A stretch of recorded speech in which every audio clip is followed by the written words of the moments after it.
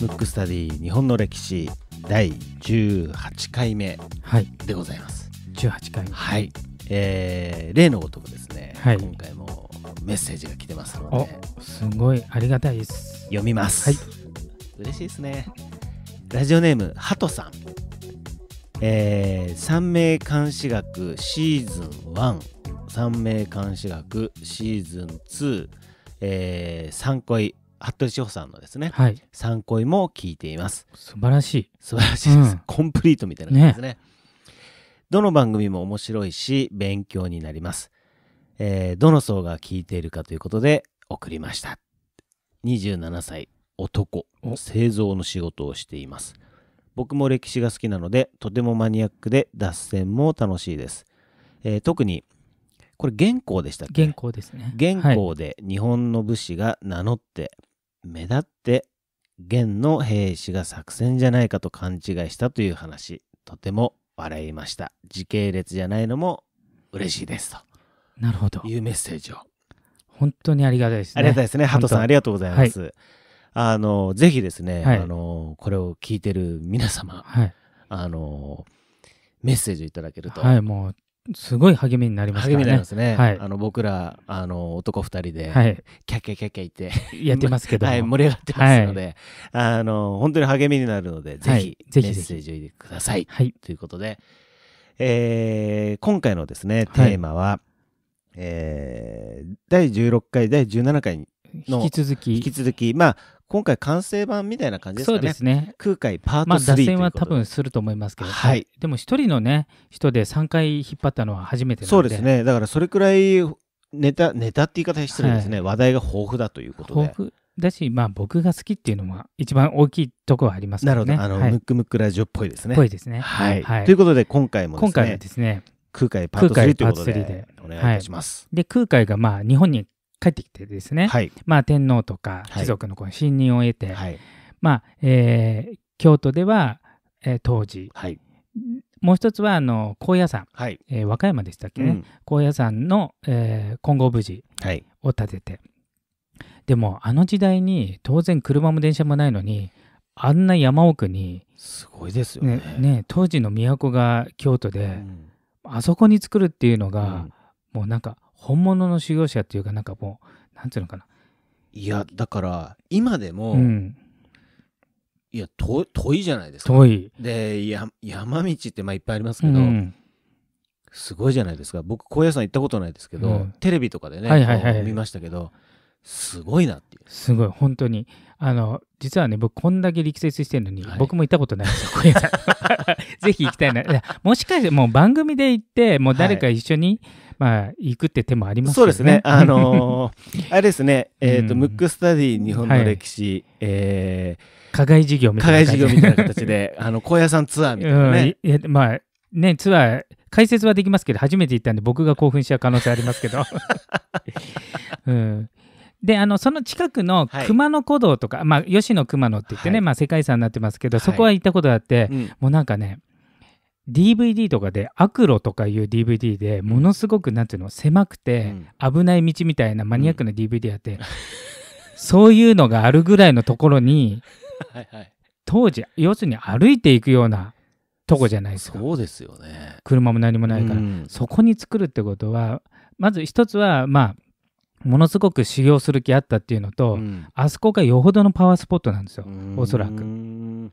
だからまあ空海ぐらいの人がね選んだっていうことなんでぜひ行きたいなと思うんですけど、はいでまあ空海はまあそんな感じで、はい。えーなんですけど、まあ、あちなみに僕あの三名監視学っていうねうん番組やってますけど、はい。実はね、えー、と密教にも宿陽教っていう、まあ、経典があるんですけど、はい。そこから生まれた宿陽占いっていうのがあるんですうよ。んまあ、ごくマニアな人しか知らないんですけどね。でしょうね。うん、だから多分空海も、うんまあ、いわゆる占い的なもの、うんうんまあ、学問に即したものなんで、うん僕もあの三名監視学、うん本来は占いって使いたくはないんですけど、まあ、学問として、はい。まあ、人間学としてそれもあるし、うんすごく幅広い学問なんですね。うんうんだから真言宗ってあの宗仏教なんで宗教的な要素もあるし非常に学問的な要素があるんでそういう感じですね。で、一方、今回ね、空海パート3って言いながら、はい。ちょっとね、もう一人のはい。あの密教のはい。相手の最澄についてちょっと話したいなと思うんですけど、はい。じゃあ最澄は天台宗ですね、はい。あのえー空海は真言宗で、はい。じゃあじゃあ文語に聞きます、聞いちゃいますかは いわかる気もしないですね。はい。まあ、てさっき言ったね、はい。あの真言宗はあの総本山というか、はい。えー、と高野山と,、えー、と京都の東寺、はい。では天台宗はどこでしょどこで 放送事故みたいになっうちゃいましたけど。リアルなまでどこですすかね？打ち合わせも何もしてない。何もしてないですね。うんどこなんですかね？結構有名ですよ、山です山。山。うん、山。京都の近くの山でちょっと琵琶湖にも近いです。ああうん。蘭山。南山じゃない、蘭山山じゃないですか？ええ。ええっと琵琶湖に。ひひあ比叡山。比叡山、はい。比叡山の延暦寺っていうのが、はい。あの最澄が作ったお寺なんですよ。うーん。だから多分あそこもね当然パワースポットだと思うんですけど、うんうん。大きな違いは、うん。えー最澄の真言宗はうん。ちょっとストイックな、うん。まあ要するによそ者寄せつけないっていうかうん。まあ位置的にもね、うん。まあ、高野山なんて遠いんで、うん。ちょっと行けないじゃないですか、うん。気合入った人がよほど望んだ人じゃないと。ですね。で比叡山ももちろん山なんでうん。険しいところなんですけど、やっぱ京都の近くなんで。うん。なので天台宗ってどっちかというと大学に近いんですよ。あの真言宗は真言宗だけっていう感じだし、うん。すごくなんつうの、まあ、プライドを持ってというかうん。コアな学問なんですけど、うん。天台宗のあの最澄っていうのは非常になんていうんですかね。まあいい人というかこだわりのない人というか、うん。あのあらゆる仏教の勉強していいよっていう感じなんで、本当にじゃあもう大学大学みたいな、だからうん。天台宗って言っときながら、うん。あの天台宗以外の勉強もできたんで、だから後々、いえー、と空海と最澄がいた時代っていうのは平安時代ですけど、うん。平安時代の次の鎌倉時代に鎌倉仏教っていう、うん。今の仏教界のうん。ほほとんどのものがそこでできるんですけど、うん。その教あ教祖というか開祖。はい。開いた人は、うん。あの全て比叡山延暦寺から出てるんですよ。あ延暦寺にいたあ人が天台宗ではない宗派を打ち立てたと、うん。ほぼ全員そうですね、うん。あの鎌倉仏教。で、まあ、有名なのが、うん。まず浄土宗、はい。えー、と法然、はい。えー浄土宗っていうのは、えー南無阿弥陀仏、はい。念仏を唱えるとうん。救われると、うん。それまで空海とかってめちゃめちゃな修行しないといけないんで、うん。今もたまにね NHK の番組とかで、うん。何十年ぶりにその、すごく荒行をした大アジャリが出ましたとか、ありますね。うん、もうなんかもう、まあ、要するに常人ができないようなことをやってはい。やると、それから鎌倉仏教はそれとは違うんで、うん。えー、と一般の人うん。でもうん。仏教の教えを広めたいということは簡単な方がいいということで、あのそこから始まってるんですよ、うん。でもでではみんな比叡山延暦寺からなんで、うん。そこで勉強した法然が浄土宗っていうものを作りその法然の弟子が浄土真宗っていう親鸞が作ったうん。宗派を作り。で浄土真宗が別名一向宗っていうんで戦国時代一向一揆とか聞いたことうん。あるとありま思うんですすね。ねううん。ちょっとこう力を持ち始めて。だから今多分浄土真宗がまあかなり力を持ってんじゃないかなと、うんうんうんあの多いんじゃないかな、はい。あとは禅宗の、えー、とちょっと前にやったうん。鎌倉五山とか、うん京都五山のうん。臨済宗の英才とか、はい。あと同じ禅の曹洞宗の道元とか、はい。あの全て、えー延暦寺出身ですね、ん。だから今後の展開、うん。えー、とその後の人材を出したっていう点においては、うん。最澄の方が全然すごいんですよ。空海は空海はもう大天才の多分うん。もうちょっと次がないぐらいの人なんですけど、うん。その後こう、ままあ、弟子というかまあひっそりとしてたのかもしれないですけど、うん。あまりそういう人は出てないんですね、だから最澄はい。のそういうなんかある意味おおらかな。うん。自分が知ってる仏教のもの以外にもうん。すごいものがあるんじゃないかって多分おそらく考えたと思って、はい。まあ自分が思ういろんな研究をしてほしいっていうこの懐の深さがうん。後々のうん。なんかまあ、えまあ今のねはい。えー現代人も所属しているかもしれない宗教のうん。ほぼ階層そこから出てますので、うーん。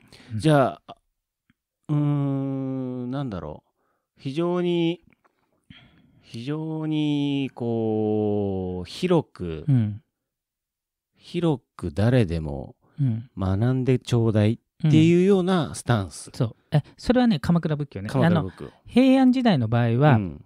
あのもちろん仏教は僧侶しかなだから一部の人たちがやってて、はいうん。その一部の人たちは、例えばそのお寺に行った場合、ん。そのお寺の教えしかダメじゃない普通に考えて、うんうん。うん例えばじゃあ文吾のとこに行ったら、うん。じゃあ文吾が A っていうものやってて、うん。師匠が A なのにいや B の方が僕好きですってちょっと言いづらいじゃないうん。普通に考えて、うん。最長はそれを OK にしちゃっうんただけで、ただ来てる層はお坊さんなんで一般人ではないです。なるほど、うんなんでその最澄さんはそそういうような考えだったんですかねうーんなんでしょうね、ねまあ、結局、うん。多分あのもともとその密教を習いにね、うん。あの遣唐使で行った時に、はいまあ、一部しかつかめなかったんで、うんうんうん。要するに自分がそれだと思って行った時にであの空海が完全体を持ってきた時にあ自分は知らないけど、うん。こんな素晴らしい教えがあったんだっていうだからそこそれもあるしもともと謙虚な性格があったんで、うん。ということは自分が知らなくてもうん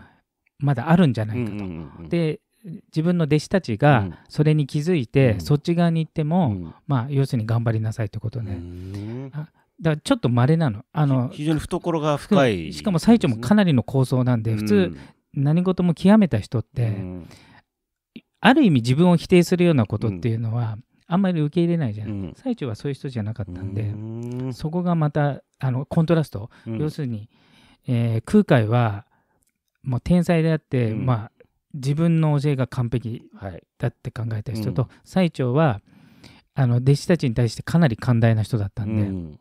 その違いが。だから後々後々の影響度的に言うと最長の方が大きい仕事をしたかもしれないけど、うん。僕は空海の方がどっちかというとこう天才型が好きなタイプなんでね。うん。じゃあでも空海さんも空海さんだし、うん。最長さんも最長さんだってそうなのよですね。で一番最初に行った時に最長さんの方が位が高くて、うん空海の方が下だったんでこれが良かったのよ。要要するに上にいるものが寛大だったからなるほど。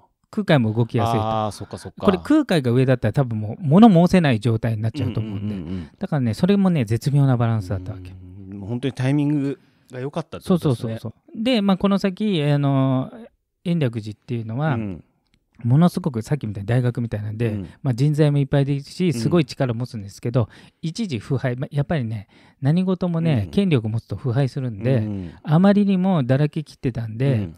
えー織田信長が、うん。あの焼き討ちにしてるっていうね。なるほど。う。ん。うんまあ、ちなみに実行したのは明智光秀です、うん。あの信長の命を受けてうん。やったのは明智光う秀、うん。ん。で、えーと命令したのは織田信長うん。なんですけど、ただすごいのは、うんあの延暦寺って焼き討ちされたわけじゃない、うん。けど自分のその後のねその再興して今も延暦寺ありますけど、あのまあ多分ちょっと反省はあったんじゃない、はい。自分たちも、うん。まあ、ちょっとそうとしてうん。至らない面もあって、まあ信長ともやりすぎよ。もう皆殺しにしてるから、うんけど信長を祀ってるんで、うん。自分たちを焼き討ちした人たちを祀ってるんで、うんだからある意味ちょっとそこを粛清してもらったっていう意識もあったのかもしれないですね。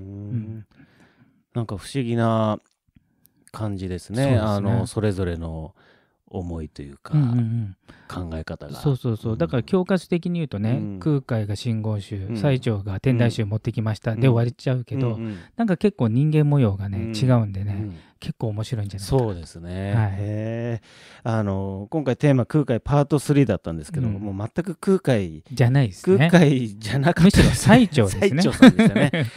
ね。あのまあねぜひですね、はい。えー、と今回はですねあの立て続けに、まあ、空海を3つ取り上げて、はい、まあ、最後は空海なのかっていうとちょっとクエスチョンですけども。得意の打線ですけど、はい。あのぜひですねリクエストとかがあればあのどしどし送っていただいてそうですね。あのまあとコメントとかねそうですね。入れていただけると励みになります励みになりますね、はい。あのいただいたリクエスト通りにやるかどうかはあの分かりませんけども。ね。はい。本当にこの番組その時決まるといそう。で打ち合わせゼロなんで、はい。あの放送事故も起きるんじゃないかっていうね、そうですよね、本当に用意どんで始めてますけども、ぜひあの皆さん一緒に楽しんでいただければなと思います。